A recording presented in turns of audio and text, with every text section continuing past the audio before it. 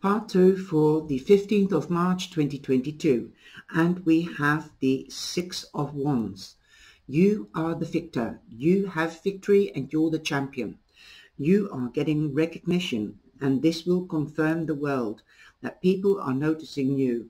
You could be meeting a new romantic partner or you could be starting have a new recognition at your work or in your work or in your company if you own your own company.